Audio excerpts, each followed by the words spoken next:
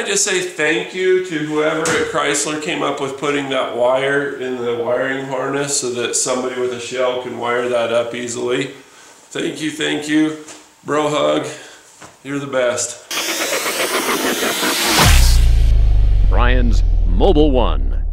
Hi, my name is Brian and I just did the wiring for my truck's harness and frame up to a two-wire connector on my shell so that I can take my shell on and off and just unplug it.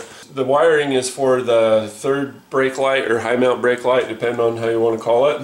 And the factory wiring harness actually has a little wire looped up and conveniently located on the back of the truck so that you can just run a little wire up to where your plug is and then you can tap into the frame so that you can be able to take the truck bed off if you need to for whatever reason.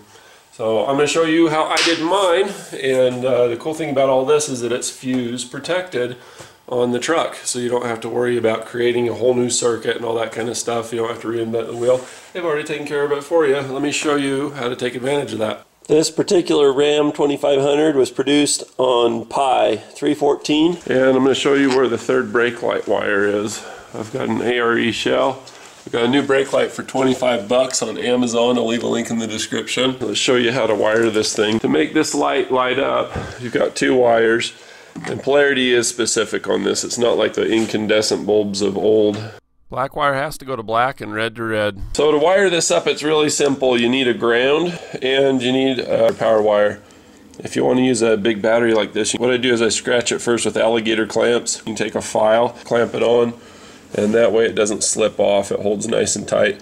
You can use a big full-size battery that doesn't have enough amps to start a car but still good enough for testing. Get all the life you can out of your old battery then turn it in for the deposit. Got some speaker wire alligator clips. This is the wiring for the shell. And when you look at the brake light up there you can see how that comes on when I hit it. The ground wire you can ground that to anything on the vehicle uh, but the power wire is located underneath the truck so you've got your bumper here, so follow the bumper back. Here's your trailer hitch, goes to the frame, and then there's this bar here. And you don't have to cut or get into anything really. It's just taped up on top here. You see the wire is right there. It's white and purple. This one's all taped up. I wanted to show this. I'd seen some other videos where they show it where it's already untaped, but it's actually outside the loom. It's just taped over the top. So you don't see it unless you're looking for it. Come up over the top, you see it's white with a purple wire. I know this is the same for 2013. Um, 2016, another guy had a video and he was pulling the wire out clear up here. Um, so that's a possibility. But most all of them, it's going to be just up here close. But you just run it up through the tail lights. Uh, when you pull the driver's side or left hand side as you're sitting in a tail light, you can actually go up into that tube. There's actually an opening right here and you can fish it up there and just have it dangle or you can have it stick up here, use a piece of Velcro and then have a plug so you can detach it. Uh, to pull this out, I'm going to back up for just a second. You got two screws, one here and here. They are T25, uh, T meaning Torx, looks something like this. Like once your two screws are out, you can just pull back on this if you pinch it this way and just roll back, that'll pull it.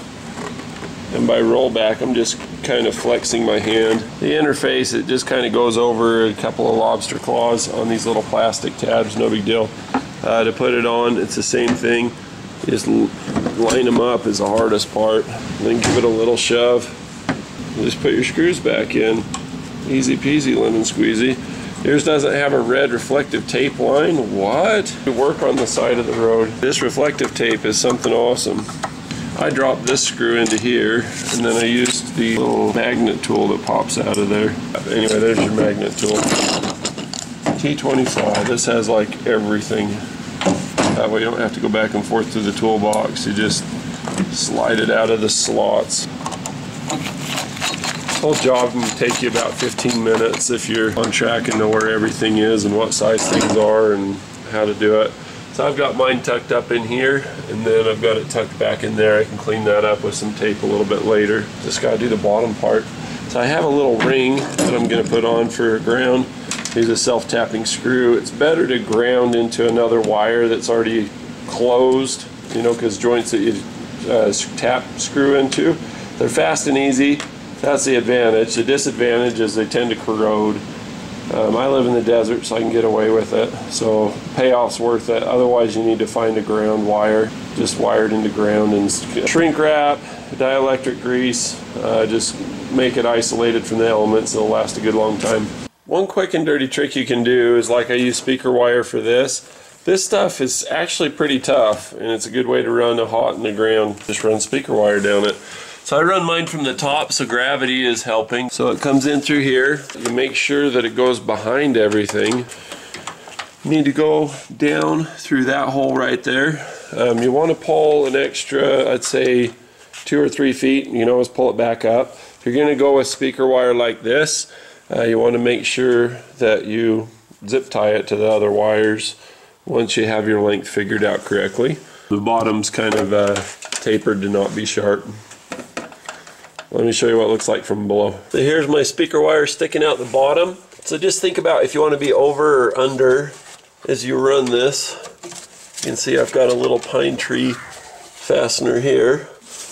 Let's run that up over the top like this and we're only trying to get here so you just follow the same harness and that gives you something to zip to as well so here's where our wire is. You don't want to ground to the bed because if you ever want to pull the bed off for any reason, you don't want to have to undo all of that. So I would just do a self-tapping screw into the side of this would be great for a ground because uh, that way nothing's going to be in here to get tore up. If you go up through here, you could hit a wire harness. And a speaker wire, of course, one side is indicated as ground by a black stripe or sometimes there'll be a white stripe on one of them. Just make sure that your polarity's right on uh, each end. So you can see by the zip ties sticking down where I've zip tied this. Wherever there's metal, I have it on the opposite side. It's just speaker wire. It does a good job abrasion resistance and whatnot, but why push your luck?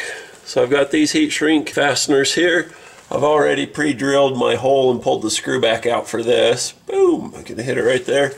Uh, so I'm going to connect this one uh, without the black stripe. This wire right here is going to connect to uh, the white and purple wire and then I'm going to heat gun them, shrink them down real good and then I'm going to put the screw in and test it.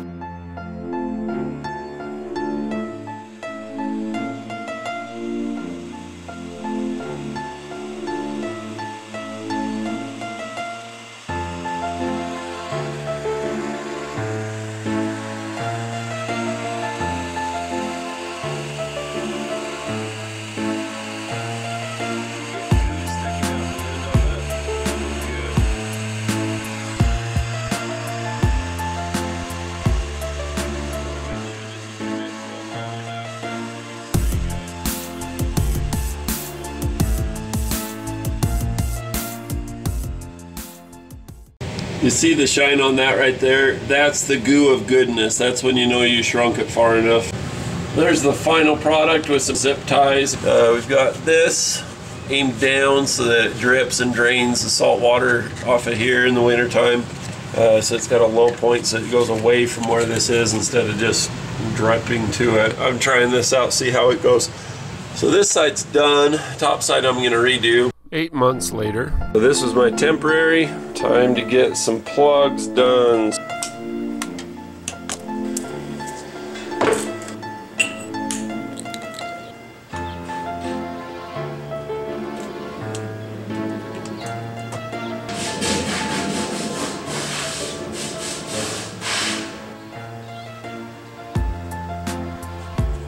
I'll get a whole bunch of solder melted onto it first and then you take the other one and you just have to have one hanging in the air and someplace it's going to stay and then you hold the other one and then the solder runs together between the two. So here's how we're looking all tinned. This is going to be the end that's going to stay with the truck because that's where the power comes from when the shell's not on. I don't want it to make contact with anything. So it's going to go on with these here you see that one's the black, it's got the black thing on. Yeah, I put these on first because it's like closing the door after the cow gets out of the barn if you don't have them on beforehand. I usually like to get a 4 inch or 5 inch piece of solder and just cut it with the iron, clean it on the Brillo, and this makes for a well tinned tip. And what that does, I actually learned this from you guys, somebody caught me trying to clean the tip with other mains, the ammoniac and the other and having a clean surface like this, causes the solder to stick to it. So I can load up the side of this, the iron's the hot part, and it basically fakes like it's a fat tip even though I'm using one for electronics. And when I got a little bubble on there, it's like a big fat tip. It heats everything really good, really even.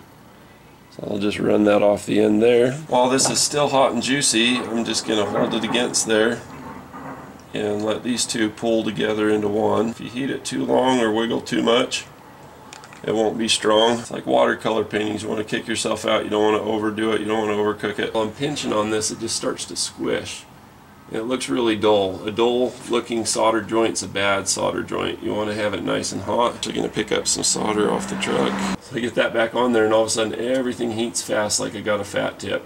So that's really shiny. If I'm holding this with pliers, it's going to set up a whole lot better. As I said before, I can't hold still very well, but I can hold a pair of pliers and they can hold still.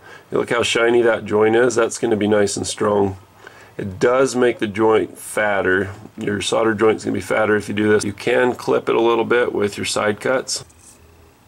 This isn't doing any good, it's not connected, it's just sticking out. So trim those bits off and then you can fit your heat shrink over the top of it. This one's a little bit of a close call, but it's getting there. From there, you can use a lighter and get that to close up, or you can use a heat gun as your best option. Or you can use that little space, that little corner on your soldering iron, and just keep it moving.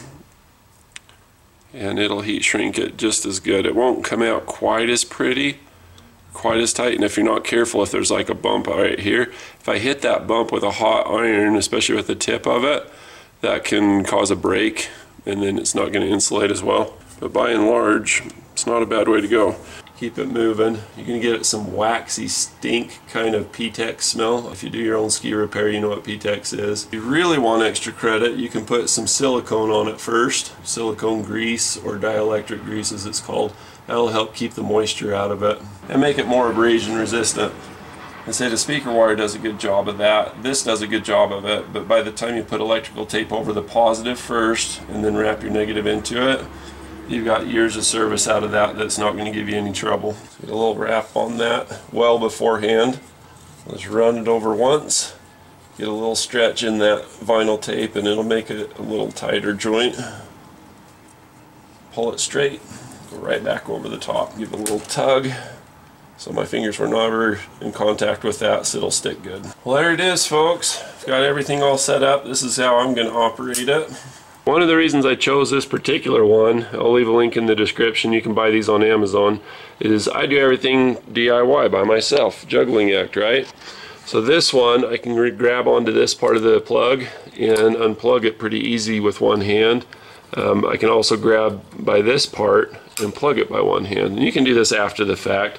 I just like that feature of it and why not? This is how mine's gonna end up. I'm gluing it on there and just like in the movie My Big Fat Greek Wedding, guys always using Windex for everything. I use Permatex Right stuff. This stuff grips like crazy. It's really tough. It's more expensive, but that's what I'm gluing mine on with. So now the glue's dry, we don't have that paper towel in there. I just pull back on the lever here and it should slip off okay. I didn't get the glue as thick as I wanted it to. And you can see even with just a little bit, it holds pretty well. Housekeeping. All right, let's see if this thing works. Left turn signal, right turn signal. And now the moment you've all been waiting for, brake lights. Bonus footage at the end.